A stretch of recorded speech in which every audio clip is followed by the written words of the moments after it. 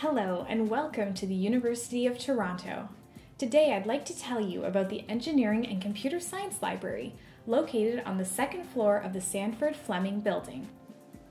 In this video, you will learn how and where to check out books, where to go for help, how to access resources, and information about our study spaces. Let's get started on the first floor at the Loan Services Desk. Here you can check out books, pay fines, get directions, use stationary equipment, and more.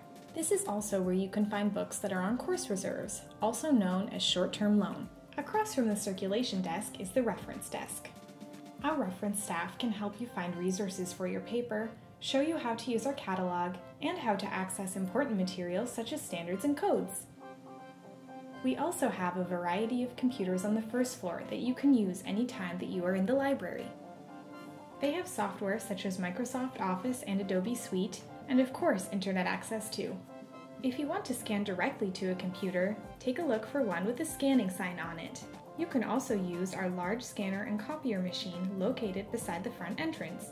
Scanning is free, just remember to bring your USB, and photocopying is available for a small fee. Need to print? You can do that here too. Just send your print job using any one of our computers and use your T-card to release your job at the printing station. The library has a various selection of desks and study spaces for you to use, including personal workstations. But you can also bring your friends, as conversation is permitted on the first floor of the library. Now let's head up to the second floor. Here you will find additional computers, individual desks, and larger tables, Oh yeah, and there's books up here too. You can do research before coming into the library by searching for materials on our website. If you are having any trouble finding a book, remember, you can always ask for assistance at the reference desk. Don't forget to check out your books before you go. Head back downstairs to the Loan Services Desk. This concludes our tour of the Engineering and Computer Science Library.